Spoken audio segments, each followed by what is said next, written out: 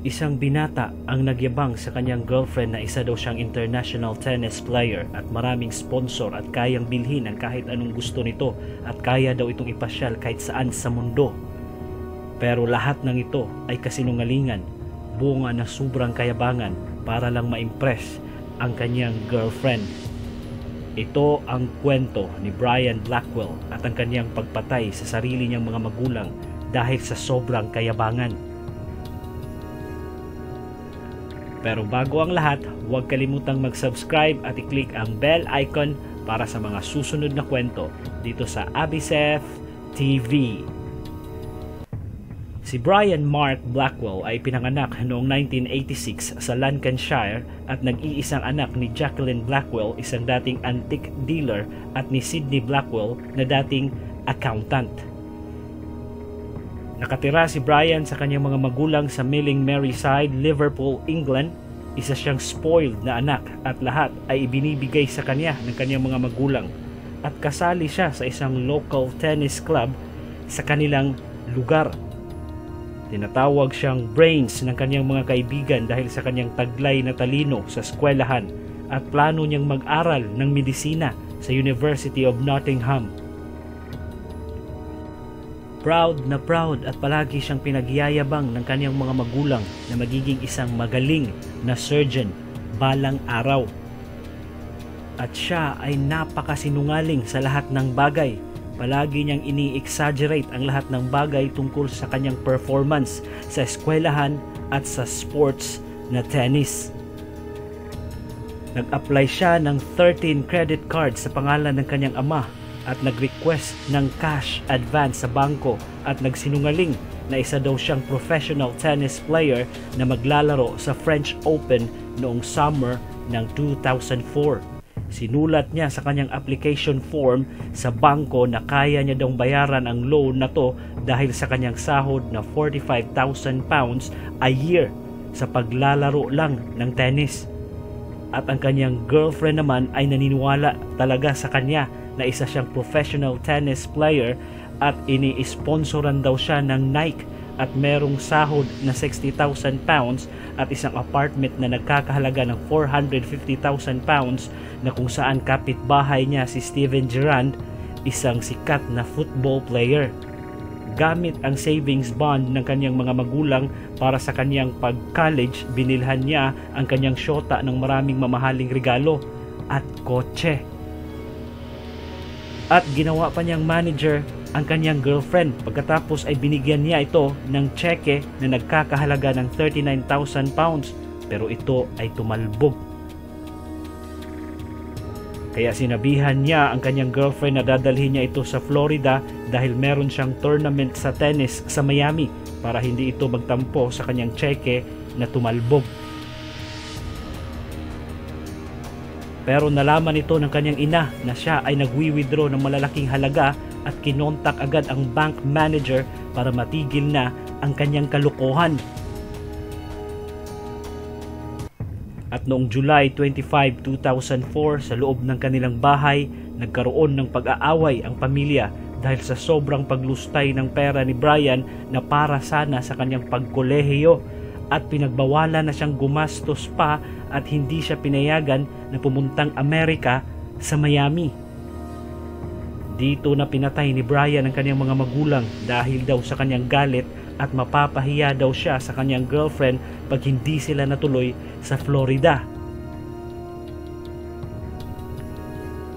Hinampas niya ng martilyo ang kanyang ama sa ulo at pagkatapos ay sinaksak niya ang kanyang ina hanggang sa mamatay ito. At kinabukasan umalis si Brian kasama ang kanyang girlfriend papuntang Amerika. Pero walang kaalam-alam ang kanyang girlfriend na pinatay na pala ni Brian ang kanyang mga magulang sa kanilang bahay. At si Brian naman ay parang wala lang kaya hindi nagduda ang kanyang girlfriend na may nangyari na palang krimen. Dumating sila sa New York at nagstay sa mga mamahaling hotel at pagkatapos ay nag-shopping sa mga mamahaling butik sa New York City.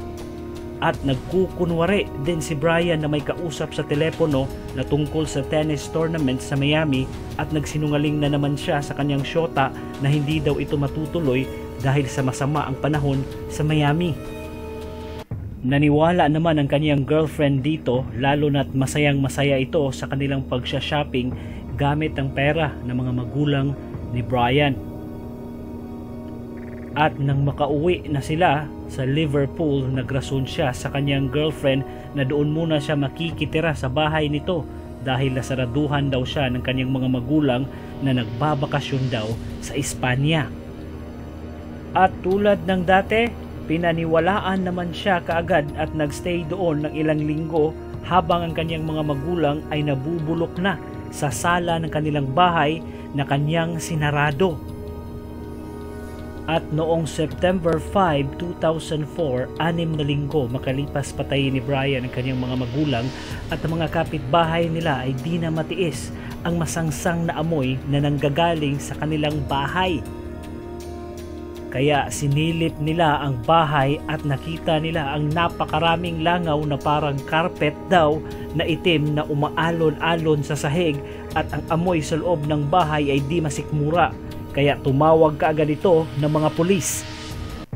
Kaagad namang dumating ang mga pulis sa lugar at nang buksan ang bahay tumambad ang katawan ng mga Blackwells na sobra ng naaagnas na inakala ng mga pulis na ito'y nilooban at pinagbababaril.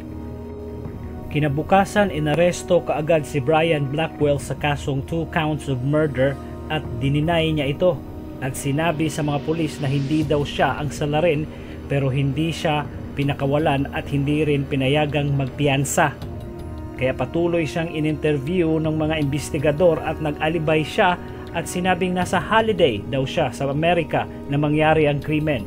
Pero sa loob ng dalawang araw na pagtatanong sa kanya, nagduda ang mga pulis dahil sa kanyang pabago-bago na kwento hanggang sa napaamin siya ng mga investigador at sinabing dinipensahan niya lang daw ang kanyang sarili